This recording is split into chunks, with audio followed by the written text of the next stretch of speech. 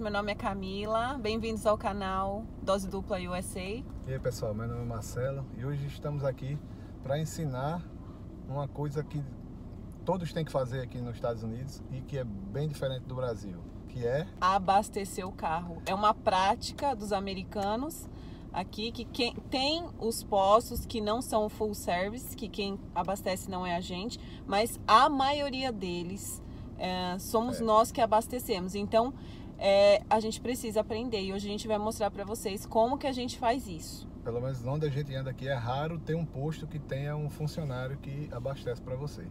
Então você tem que aprender e se virar. Ainda mais que hoje está um dia lindo, mas amanheceu menos quanto? Menos, tava menos, menos 11, menos 11, sensação de menos 18. Isso. Imagina um funcionário ficar ao ar livre esperando que chegue, não tem. Mesmo no verão não é comum. É muito raro, só acha aqueles postos menores. As redes, grandes redes, todos são é feito fala aí, self-service. Você chega e você abastece, como você vê nos filmes, né? O pessoal chega e abastece. E tem, quando a pessoa chega do Brasil aqui, mesmo como para passear, vai ter que fazer. E Sim. tem que aprender, porque se a pessoa não tiver, nunca viu a máquina, vai ficar um pouco inseguro de fazer, de colocar seu cartão, de mexer, né? Tem Sim. que ter paciência, ter calma e, e lendo que eles vai, vão dando instruções na tela. E a gente vai mostrar aqui na prática, que estou precisando realmente abastecer o carro. E também tem outra coisa. A gente, eu vou inverter a câmera aqui e dar uma dicasinha de como é que você vai saber de que lado é o buraco do carro. Para quando você chegar, você já parar do lado certo. Utilidade pública, Utilidade gente. Utilidade pública. Porque senão você vai chegar e, vai, e a, as mangueiras aqui são um pouco curtas é meio dificultoso para dar a volta por cima do carro e conseguir abastecer do outro lado. Então, uma diquinha básica aqui para você saber de que lado é que fica o seu o buraco do tanque do carro que você está dirigindo, não é isso?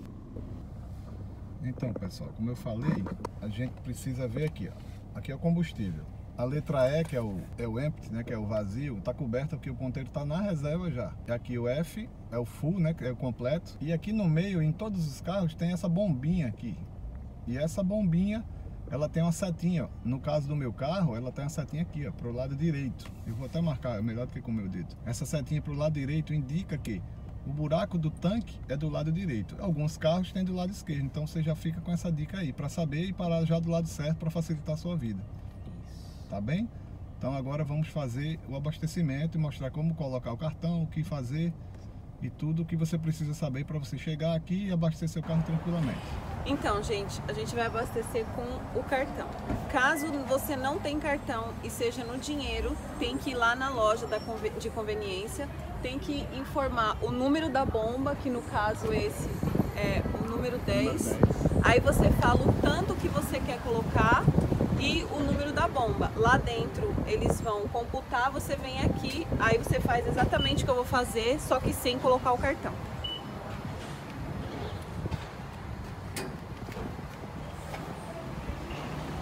Tá processando o cartão, aí tem que. Agora tá pedindo para remover, né? Então a gente remove. Aí agora ele vai pedir pra gente escolher qual que é o. o... Tirar. Sim, agora ele tá pedindo pra gente tirar e. Mas antes disso a gente tem que escolher qual que é. Por... Nessa bomba aqui. Por quê? Nessa bomba aqui, você tem que puxar o negócio aqui. Mostra aqui.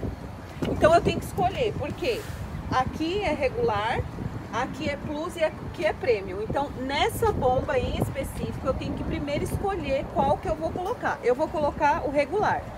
Nas outras bombas, nas outras bombas funciona diferente. Tem algumas que só tem um desse daqui e primeiro você tem que escolher qual tipo de gasolina que você quer, apertar. Esse daqui a gente puxa, vou mostrar.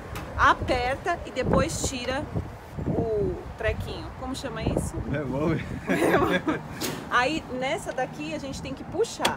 Ó, puxei. Então é esse daqui que eu vou pôr.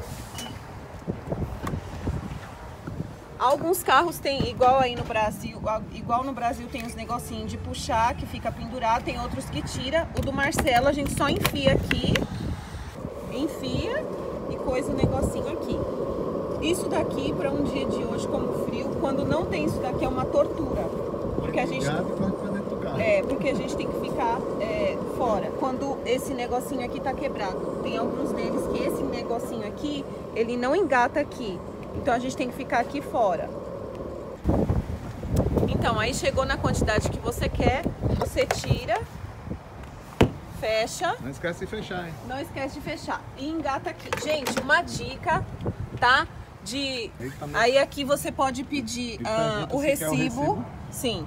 Aqui, o recibo, a gente teria que ir lá dentro para pedir o recibo, porque ela não tá dando a opção aqui. Mas tem algumas bombas que dá a opção aqui de você pedir o recibo. É, às vezes é porque acabou o papel, o recibo sai aqui. Tipo, falhou a imprimir, então tem que ir lá dentro e pedir o recibo. Então, gente, como eu tava falando, eu vou dar uma dica pra vocês. Eu já tive problema aqui com a bomba do meu carro, o Port Vavel que chama, e um mecânico aqui falou pra eu, quando for abastecer, não dar aquelas bombadas, colocar mais gasolina do que o suficiente, do que o, o tanque de gasolina suporta. É uma dica, ele disse que isso pode causar problema e é uma prática de nós brasileiros. Inclusive causou no outro carro dela e causou no meu. Toda vez que abastece, ele fica demorando a funcionar, fica como se tivesse sem gasolina. Aí até Sim. reconhecer, dá um problema no dá a partida É. e ele não liga. Então, assim, é uma dica. É... Então, só corrigindo a dica. Quando chegar no limite que a, a, esse- a bomba disparar, parou, não ficar insistindo para arredondar o valor, que é uma prática comum no Brasil. Né, que os bombeiros eh, chamam frentista, né? Eles não, Frentista. não tem troco de centavo, de moeda, aí arredonda o valor para ficar fácil para dar o troco. Isso com o tempo danifica o carro e a gente passou, sentiu na pele aqui, que o meu, eu nunca tinha, o nosso costume do Brasil de ver eles fazendo isso, a gente com- começou a fazer aqui e deu problema no carro. Então disparou a bomba, acabou. Aqui não tem problema de troco de centavo, porque você vai, mesmo que você comprar lá dentro, por exemplo, 30 dólares de combustível, e quando chegar aqui disparar no 28, ou seja, os 2 dólares, você não perdeu. Você só volta lá, quando você chegar lá, Já vai- ele já vai saber o que foi, que já acusou na tela dele, que tipo, deu menos combustível do que o valor pago. Ele já vai lhe dar o troco e tá tudo certo. Aqui é muito prático. Então, gente, e só, eu acho que eu, eu falei alguma coisa de errado, só retificando. No- na outra bomba, você primeiro tira o, o, o- desengata aqui o negócio e depois você seleciona, tá? Porque eu me confundi. eu- essa daqui, em especial, você tira primeiro e puxa. Na outra, não. Na outra, você tira e aperta.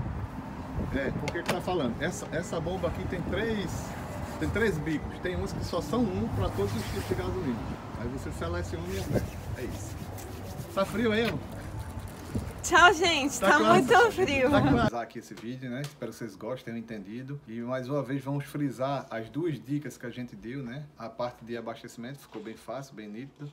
Mas como estava ali fora no barulho, no vento, pode ser que ficou meio incompreensível. Vamos recapitular as duas dicas que é- vai ser muito importante para o bom funcionamento do seu carro. Teve uma coisa que eu não falei, que eu me esqueci. Quando você for pagar o. for abastecer em dinheiro lá na conveniência, você precisa saber qual é o, é tipo de, de combustível que você vai colocar. Então você Ah, vai ter sim, que falar Verdade. regular, plus or premium, tá? Isso você vai precisar aprender porque a maioria das conveniências não entendem português. A maioria. Então você vai precisar aprender pelo menos essas três palavrinhas e falar o, o valor também em inglês. É, quando a gente chega e entrega só o dinheiro, geralmente eles, eles perguntam, é regular? Aí, tipo, você escutar regular, é, é a regular. Já vão Aí, oh, yes, treinando o ouvido. É que geralmente é mais barato, né? A gente coloca mais.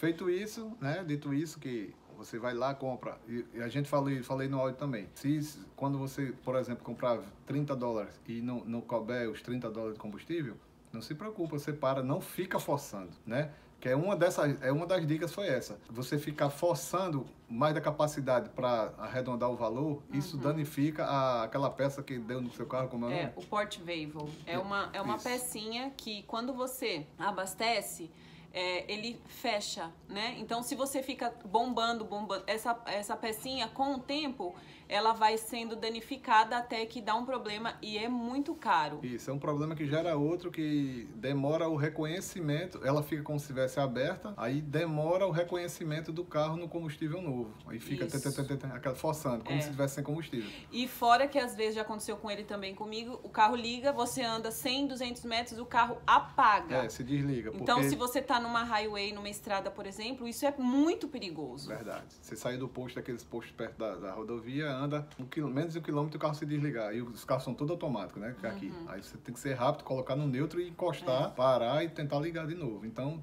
não fica forçando. A dica foi essa primeira. Aliás, essa foi uma das dicas, né? E a outra dica, e a outra dica que ela não tá lembrada é a dica de da posição da bombinha com a setinha da direita para saber o lado da entrada de combustível, né? Do tanque, do buraco do tanque de combustível, tá? Então aí Essa duas dica dicas é bem legais. legal, É. porque foi ele que me disse, eu vim saber depois de quase 40 anos.